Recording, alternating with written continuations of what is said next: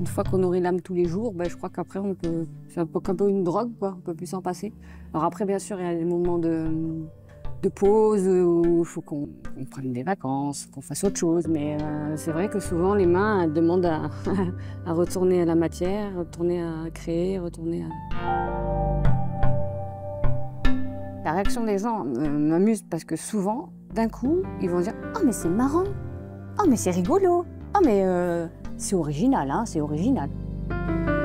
Parce que ces vieux couverts, au jour d'aujourd'hui, à notre époque, là, 2024, soit ils sont dans les armoires, soit ils sont, euh, ils sont oubliés en fait. On n'en veut plus ou on les garde juste parce que c'est euh, papy, mamie, l'arrière-grand-parent et on croit que ça a de la valeur et c'est une valeur sentimentale peut-être et on n'ose même pas euh, ben, les, vendre parce qu'il faut pas, il faut les garder. Mais en fait, ils ont plus de valeur, on va dire, ça coûte rien, enfin pas grand-chose.